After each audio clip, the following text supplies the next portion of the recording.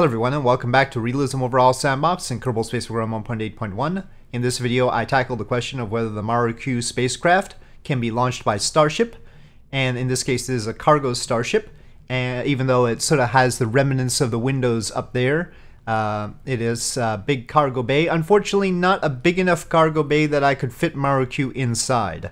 And this is uh, already bigger than I originally made the Starship cargo bay. I've tried to make it as big as possible.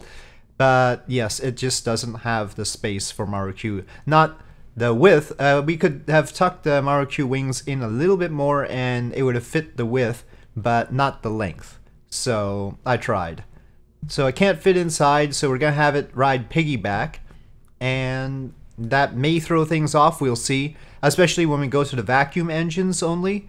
And uh, I've got sort of a limited gimbal on them so that they can control the craft, but it's gotta be rough with this on top. So that limited gimbal is sort of simulating differential throttle. Hopefully they'll have, maybe. Otherwise the RCS will have a lot of work to do. But anyway, we will see what happens. It would be easier for the gimbling on the Starship if Marukyuu was further forward than here. So actually, I'll do that. We've got the wings folded anyway, so hopefully the aerodynamics will be alright. So yeah, there's other uh, issues involved. First of all, uh, once we get into lower Earth orbit, oh right, it has to move this way. Oh gosh. Right, Marukyuu is the root part. So yeah, once it gets into lower Earth orbit, Starship still has to give it an extra boost in order to get to Mars, because Marukyuu is not going to be able to use its internal fuel. I fully fueled it. Uh, whether that's the most efficient thing or not, I don't know right now. It could be better to have Starship do a little bit more and underfuel Marukyuu a little bit. But we will see. Uh, we are using Raptors as they are right now as far as I know, so this is not the ultimate goal of like Raptor 2 or anything like that. Uh, these are Raptor 2020 versions, and so let's get one of the sea level ones to get the stats.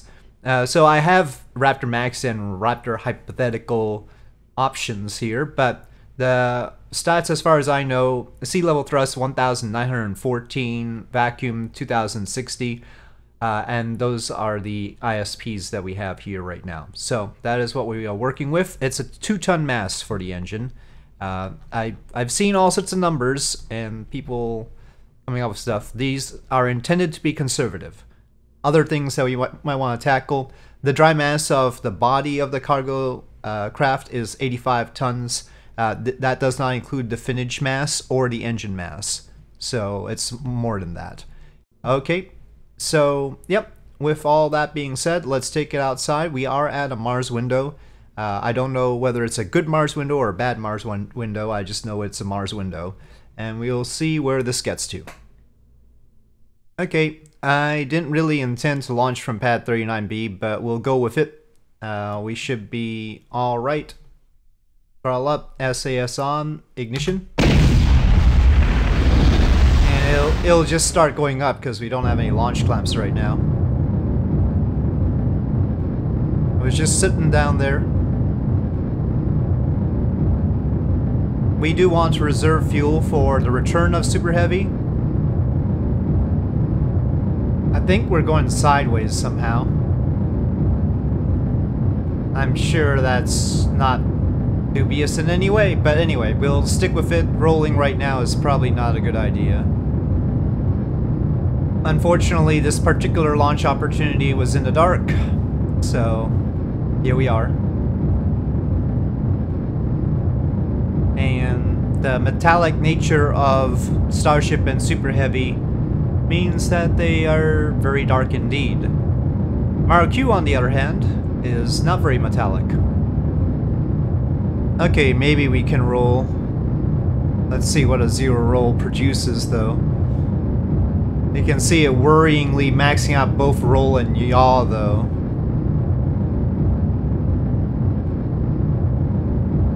Let me see what the attitude adjustment time is. We'll cut that down a bit. But yeah, it seems very wiggly like this.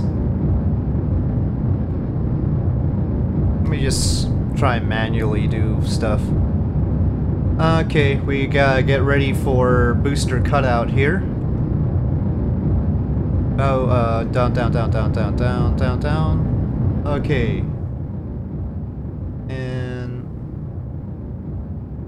That should be 10% of the fuel we launched with. Okay, separation and ignition. Okay, well, it's using a lot of pitch authority. We'll see how well it handles. Good thing I moved the Marukyuu up. No, I don't know how well we're gonna be able to hold this together. Let me cut out one of the sea level engines to see if that helps.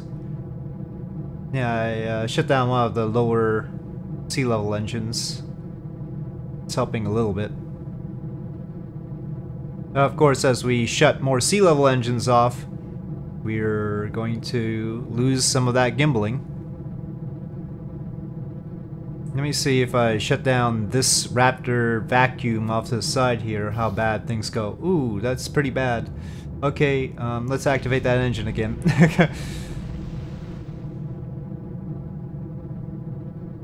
Should have... Oh, we've got the RCS on Marukyuu up already. Let's actually shut that off. Just Starship's RCS.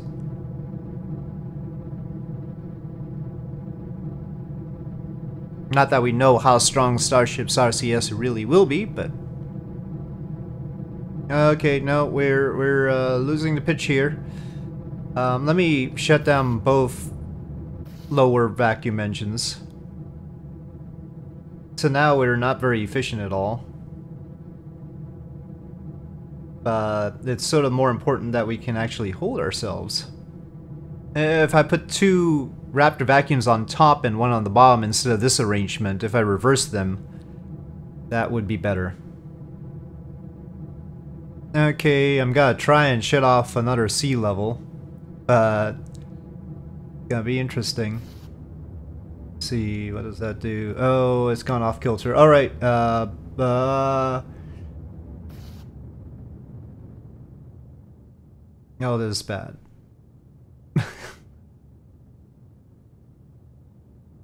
Honestly, this is this is not working out very well. Oh, we might not have enough time. We're gonna end up going down again. Hmm. I should. I had action group the sea level engines. I forget if it was toggle or just shut down. Differential throttle technically would not work if there's only one engine. okay, no, uh, this is not good enough.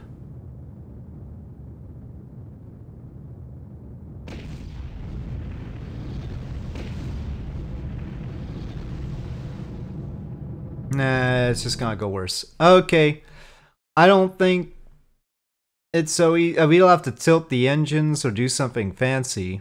I'll try it with the engine arrangement reversed with two vacuum on top and one on the bottom and see if that ends up better. This was certainly not good. Okay, all I've done is change the engine arrangement on Starship and we'll see how it goes, but this seems to be a tenuous situation at best right now. I'm not gonna attempt to roll it this time either, because that was very wobbly. Anyway, ignition.